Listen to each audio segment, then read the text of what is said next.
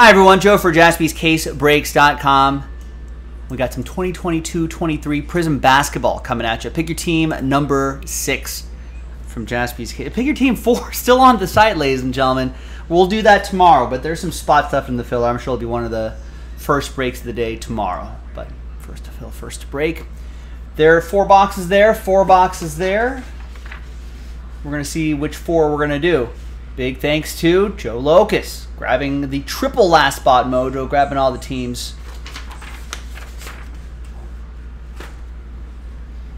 Uh, at the end right there. Okay, so we're going to roll the die.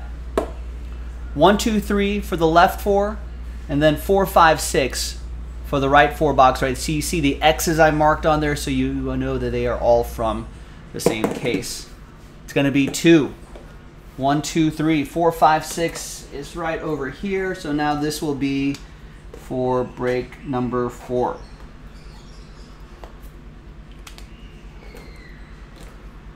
All right, and I think we have one more case after the, these final four boxes. We can load up another three pick your teams.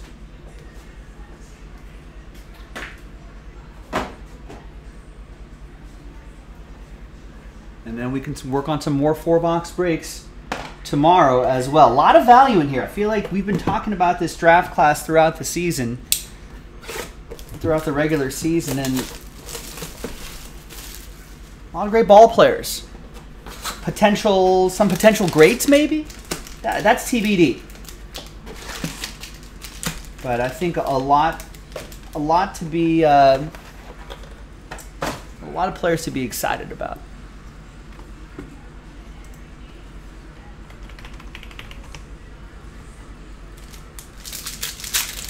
Know, I always try to remind people, listen, think about how many years it took for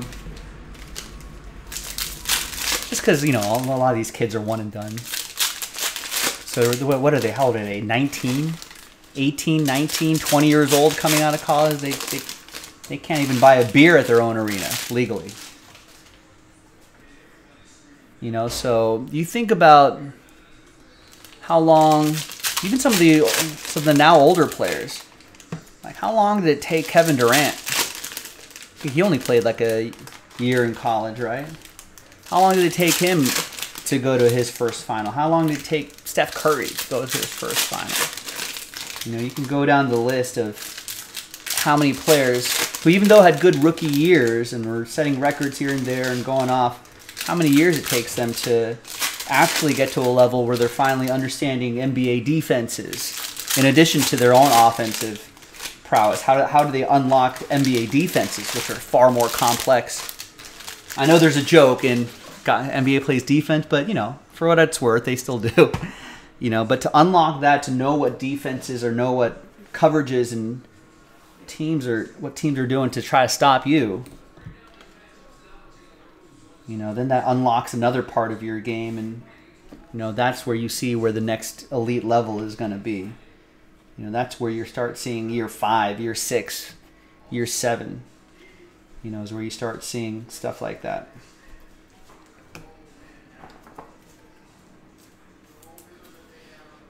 There's one Jalen Williams, the Arkansas Jalen Williams, who had a nice night tonight. Also, yeah, rookie parallels. Let's leave those. Who knows if Johnny Davis is going to end up being a somebody. Red Wave for Jason and the Wizards. Something else going to ask her, do you think Curry retires a Warrior? I would think so. This is Vince Williams Jr. I can't imagine. I feel like even at the player of his caliber, I feel like I don't think his contract is too crazy compared to some other players in the league. I'm sure he gets paid very handsomely, but I think it's not like a albatross of a contract, right? I think his, yeah, he's not going anywhere, right, Joe Pizzle? I think his style of play, he could even when his speed goes away, he can still spot up, shoot a three. So even in, in his older years, I think he's going to be. Uh, he, he still can be an effective player. But more importantly, here's the other Jalen. This is Santa Clara Jalen Jalen Williams. But more importantly, he's such an icon. Like he's like a pop culture icon. He's beloved. He's a beloved player for Golden State Warriors fans. So they're they're never going to trade him. I think he loves it there, and he's in a new arena, so it's not like he's going to go anywhere. You know, I don't think he's gonna. He doesn't have to go hunting for rings, right? He's not going to be a golem and be a ring hunter. You know, so he's not like he's going to leave to go hunt for for rings, which is a lot a lot of times what sort of loyal superstars will do towards the end of their career. Like I, for example, I could see Damian Lillard in the last like three or four years of his career, even though he loves Portland. I think I could see him saying, "Hey, I want to go try to chase a ring before all is said and done." I could see him doing that. But Steph Curry also won so many rings with with the Warriors. And he's such an icon and beloved by the team, beloved by ownership, you know, and is is like a legacy player. And it's pretty much like, you know, with were the Lakers really ever going to let Kobe walk and sign with another team? There was moments where it almost looked like that, but at the end of the day, it's like he's one of those unique players that would you know, that you got to lock up for life. Remember, Warriors history was was not very sparkly before before the Splash Brothers. There were some moments, but Steph and, and the rest really created a dynasty there. There's uh, Ochai Ag- Agbaji for David B and the and the Jazz. There's Jason Preston for the Clippers. Joe Lucas.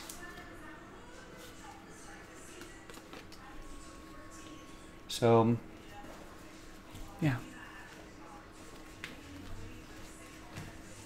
Just asking at some point if he'd want to go somewhere else. I don't know why he would, but well, yeah, you got to think about why, like I was mentioning before, why do players end up leaving their teams? Usually it's A, money. They're not happy with what they're being paid. And I think Steph Curry has probably earned himself the right to keep signing deals with the Warriors until he wants to retire. B, people want to go somewhere else because uh, they want to win chips. They're ring chasing. They're golems. But he has rings. He doesn't need that.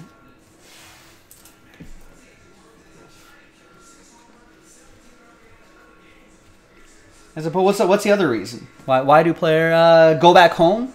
There's the hey, I'm old and my, my family lives here in the off season and I want to be closer to home for for most of my working season, you know? I think Steph Curry, I think I think his family live in like San Francisco, right? I think that's home for them. So I don't think they're going to I think they're going to go he where where is he from? North Carolina?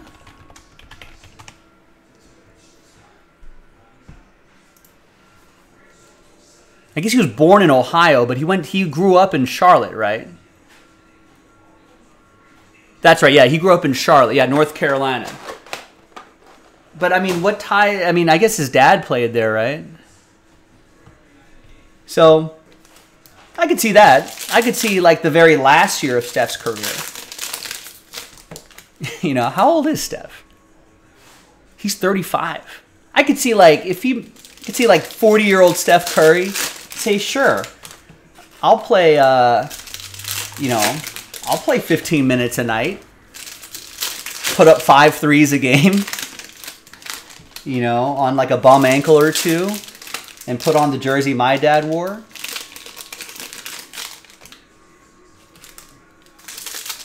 So yeah, I take that back, Rex. I, I could I could see I could see I, it's unlikely, but I could see him do like a year in Charlotte at 40 years old. Steph Curry. Oh yeah. If the trash is already full, maybe we should just leave it. Like, oh, is it? Yeah, like when what? I opened it, it's like it's like yeah, we should boxes just, are covering basically. We should just leave it. Okay. Oh, they're they're pick up tomorrow. Yeah, yeah. That's so Thursday pick so hopefully, yeah. yeah. so uh, they didn't pick up. I mean, uh, just food trash probably we should put it in the dumpster, but but Regular trash you would just leave out your oven window.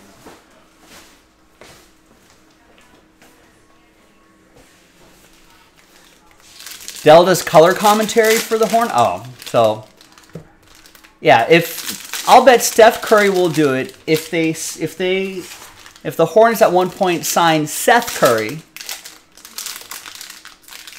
his brother, and Steph is like 39, 40 years old and if Dell's still doing color commentary, I'll bet he I I think he'd sign a year a one year deal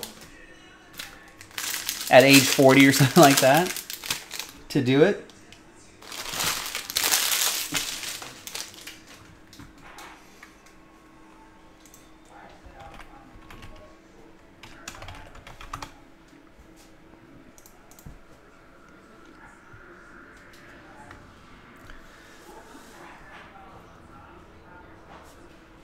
So he signed through his age 37 season, 2025 26. And then he's an unrestricted free agent again. There's Jonas Valanciunas to 199. And there's Blake Wesley for the Spurs. Oliver, were you saying he had a decent season this year? That's going to go to David H., San Antonio. So 2026, he's an unrestricted free agent. My guess is he probably signs like another one year deal with the horn, with the Hornets, the one year deal with the Warriors or something like that, depending on how how they end the season, how they end his age thirty seven season. Maybe another one or two year deal, and maybe he, yeah, then maybe he knocks out a year in Charlotte just for just for S's and G's. Yes, Sal, this is the last break of the night. We are already over, and I think we're going to probably finish around a little bit past the bottom of the hour. Miss Devin Booker 99. Joe P is, uh, if you're still listening, Pizzle, is. Is Devin Booker going anywhere? No, I think he just signed a big deal, right? Yeah, he's signed.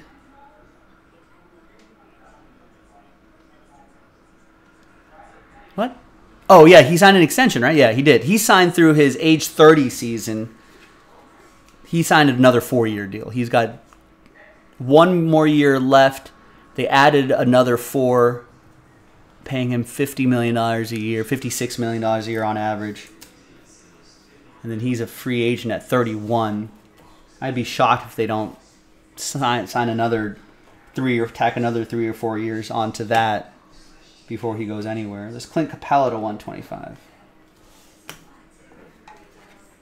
Would the Lakers take a 31 year old Devin Booker? Probably. All right, Joe. All right, see you guys.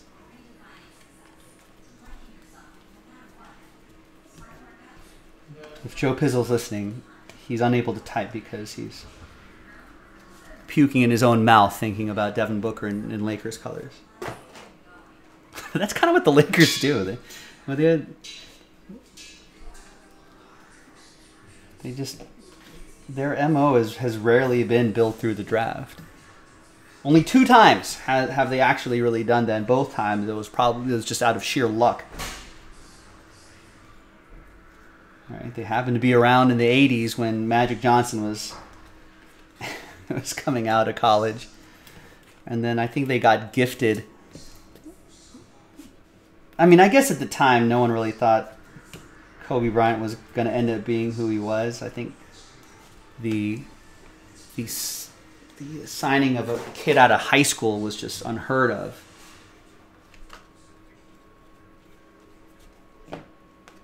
Behind Kelly Oubre Jr. is Vando, Jerry Jared Vanderbilt. What a great addition to the Lakers. This is still going to the Jazz. David B with that one.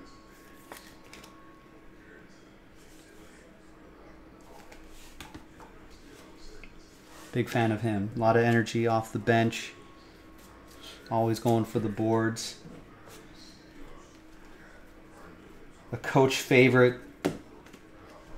There's Ousmane Dieng to 149 for OKC. And a hyper Luka Doncic. Vanderbilt's. I feel like Vanderbilt's one of the guys that coaches will be like, I wish we had five Jared Vanderbilts out there on the court.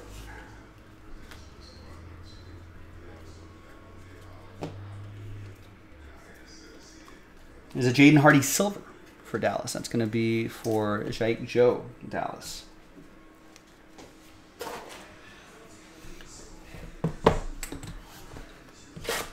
All right, halfway through this four box break.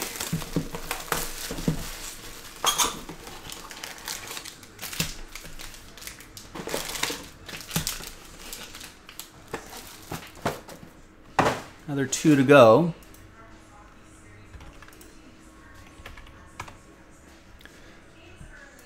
This is an exciting point of the evening for you guys because you're going to listen to me talk about my fantasy baseball team. There's nothing more exciting than listening to someone talk about their own fantasy baseball team. Uh, got Logan O'Hoppe, went 1 for 4. Torkelson went 0 for. Jeff McNeil, still on base, three walks. All right, I'll take that. Steer, just Ah, Trea Turner, two for five with a steal. Good. I need more steals out of out of him. Benintendi, one for four. Brandon Marsh, one for four with an RBI. Outman, two for out, James Outman, two for five, and an RBI and a caught stealing, trying to trying to trying to run too. Giancarlo Stanton, one for four. Emmanuel Clase with another loss. I feel like that's his second blown save. I don't like that. Dylan Floro with a couple strikeouts. Who did I leave on the bench? Damn. Left Brandon Nimmo on the bench. He went three for five with a double and two RBIs. I need that average.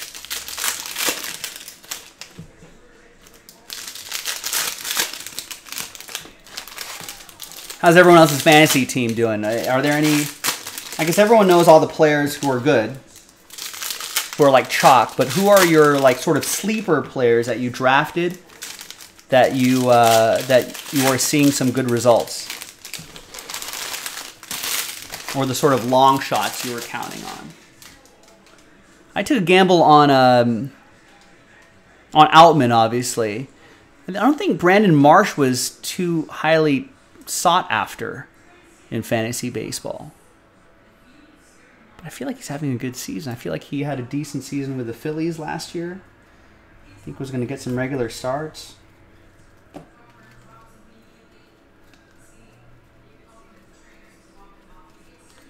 For like 10 or 12 team leagues, maybe 12 team leagues, maybe even 10 team leagues, might, might be getting to that point, um, where uh, James Outman could be a great like sort of fourth outfielder, fourth or fifth outfielder. You know, oh, there's Pau Gasol. You know, someone asked, I think it was Chad. Chad Coleman the other day?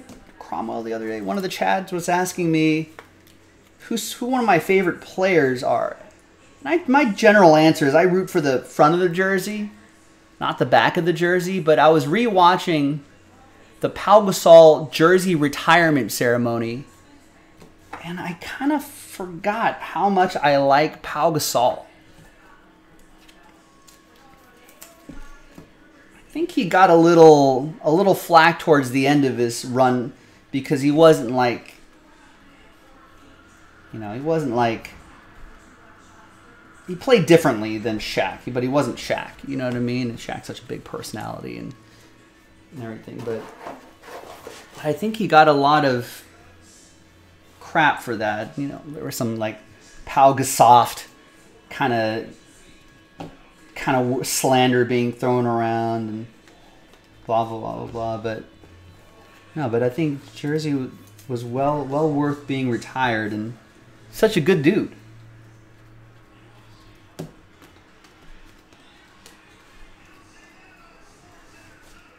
I honestly did not know, or even and if I did, I forgot it. That uh, here's Wendell Moore Jr. for Minnesota Wenshin. That Pau Gasol at one point was on med school track in Spain. Um, before he switched to studying studying the game of basketball full time. But apparently he's very active. I think in L.A. Children's Hospital pretty sure this local children's hospital super active. I think I think he he goes once or twice a year just to check in, say hi, donate some stuff, spend some time there, blah blah blah blah. And there was there was a doctor being interviewed in this in this Lakers network interview that I was watching where the doctor was like, "Yeah, he was just you know like you normally do with celebrities or athletes. You know, you're just showing what's going on. Let's take a look. Let's take a look at a random study or MRI or something that we're working on or some treatment that we're working on. And usually, you know, you get smiles and nods and hey, good work, blah blah blah." But the doctor was like, "Well, yeah." And then Powell asked me a kind of an advanced medical question. And he's like, and he thought, oh, okay, kind of knows his stuff. And then he kept asking more and more advanced questions. And this doctor was like, wait a second, come on, what's going on here? And Powell had revealed to him, hey, I went to medical school. I was like a med student. I was on track to be a doctor before this basketball thing came along. There's Lonzo to 149 and Kelly Olynyk. David B with the Jazz. Can you imagine Pau Gas- if it, if it was just Dr. Gasol, Dr. Pau Gasol in Spain, and there were just like, were like, what basketball pickup games going on, I mean, he would just be destroying, you know, the the other hospital down the way. You know, he'd be he'd be playing the uh, here's Lonzo right here to 149 for the Bulls, Nicholas you know,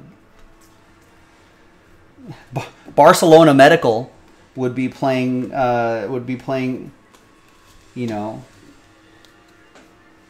Madrid. Little intramural basketball between some hospitals. Just be destroying them. There's Bennedict Mathurin. I saw that, Rex. Jordan Walker. On base machine. What's the streak there? What's the what's the most hits in a row to start a season? Is it to start a season? Did live in Redondo? Where does he live now? Is he live, is he back in Spain? Does he still live around here?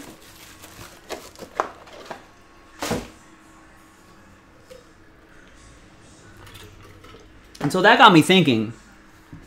If there is like one player that, you know, because again, I, I don't, I, I tend not to root for individuals themselves. I've never been I'm not buying a guy's jersey or anything. I'm, I'm not really a jersey guy, buy a jersey guy, but there's one person that I really like, really one athlete that I'm a, a favorite of. And that would be uh, Pau Gasol. I think would be up there on on the list.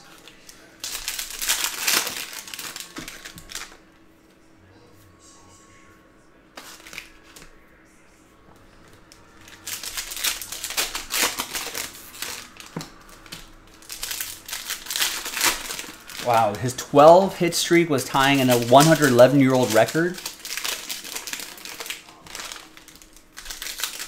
Mad Joe. Yes, what about Bo Jackson?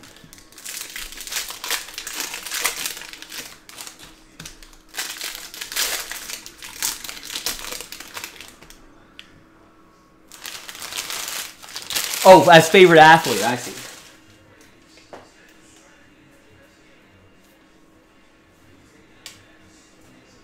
Might have a forearm flexor strain, ladies and gentlemen. My right arm. I might be on the IL. Seth Curry behind him is Wendell Moore Jr. Rookie auto for the Timberwolves, Wen Shun.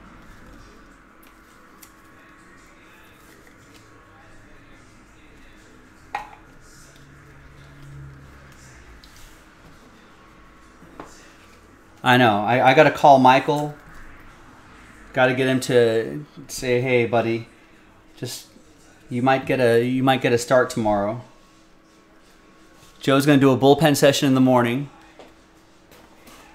You know, just just see how it feels. But you just be ready if we need you to make a little spot start.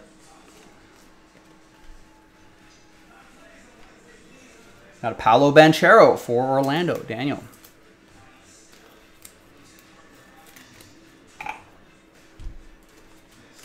Ed P, by the way, has Paul Gasol autograph. That, sorry, I went off on that Lakers story, Paul Gasol story.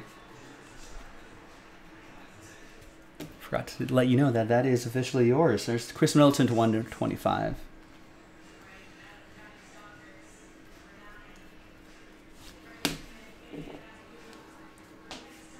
Now, I feel like that happens that happens every time he goes on air. It's disrespectful to, to Michael.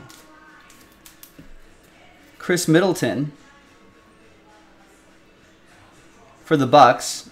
It's for Sean. There's uh, Cody Martin to 299 for Charlotte. That'll be for Brian.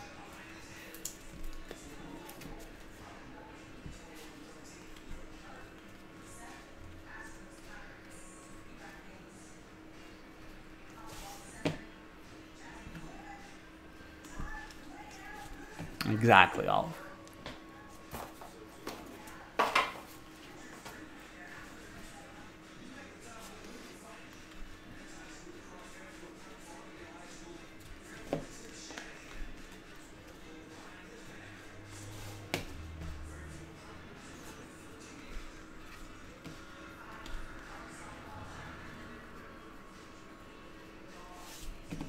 Yeah, it's it's it's annoying. You know, because it's like, hey, I'm my own person. You know, you've just re- reduced my existence to like some popular figure. Thanks. Paul George reveals a Christian Wood. What are the Mavs gonna do? They got Luka Doncic, they got Kyrie Irving, they got they got you know Mark Cuban.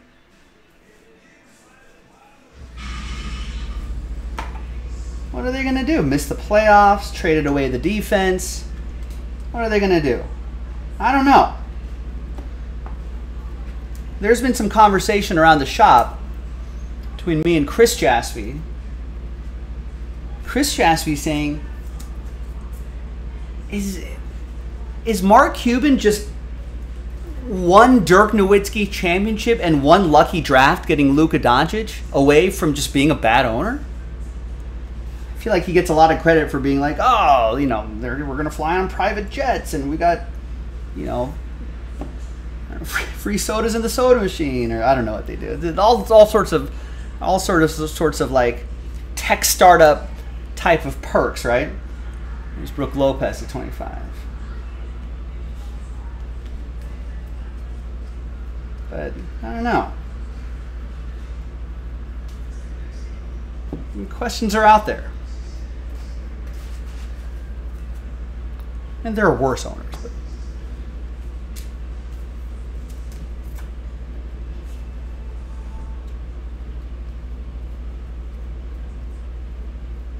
maybe that question doesn't get asked enough.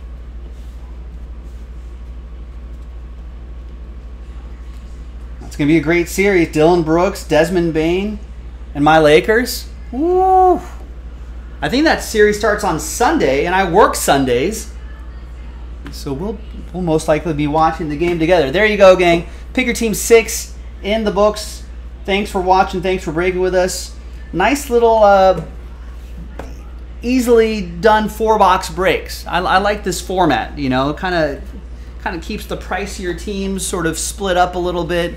So, you know, it's a it's a pricey product. Prizm basketball usually is, but I appreciate everybody getting into it. I'm Joe for JaspysCaseBreaks.com. I'll see you next time for the next one. Bye bye.